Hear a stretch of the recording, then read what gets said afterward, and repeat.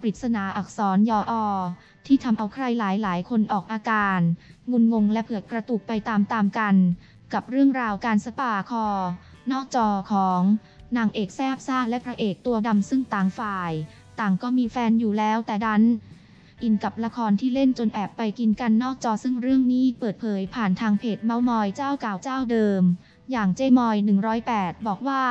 นางเอกแซบซ่าพระเอกตัวดำมีแฟนกันแล้วทั้งคู่ แต่เกิดประปังคันขยเยอกันในกอง พระเอกหยอดบ่อยมากจนนางเอกหวันไหว จนยอมเสียตัว แฟนเข้าใจว่า เป็นเพื่อนสนิทของเพื่อนในกลุ่มและทั้งคู่ก็เคยร่วมงานละครมาก่อน คงไม่มีอะไรเกินเลยอย่างแน่นอน แต่หารู้ไม่ว่าตอนนี้ทั้งคู่กำลังประจำบลังเลิกกองละครทุกวันตอลอวันนี้มาเร็วจะรีบนอน ทำการบ้านไปนะจ๊ะเด็กๆ วันนี้รอดคุกเพราะก๊อปมาจากเว็บอื่น งานนี้ความเผ็ดความแซ่บเพิ่มเลเวลขึ้นระดับ 10 เมื่อพิธีกรฝีปากกล้า มดดำคชาพาหยิบยกมาเมามาอะยะผ่านรายการ ข่าวใส่ไข่พร้อมออกปากให้ตัวย่อแบบชัดเจนเลยว่าพระนางคู่ที่ว่านั้นมาจากวิกมากสีแต่จะเป็นคู่ไหน เอาเป็นว่าขาเผื่อกลองไปดูตัวย่อและข้อมูลเพิ่มเติมกันเลย